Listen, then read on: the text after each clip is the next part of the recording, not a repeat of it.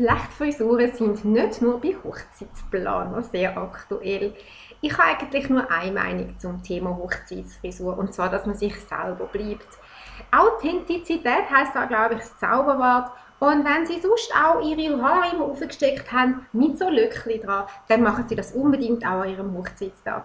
Ich glaube, die letzten paar Hochzeiten, die Leute mit langen Haaren haben ihre Haare alle aufgetragen und ich habe das sehr, sehr romantisch gefunden. Also, bis bald.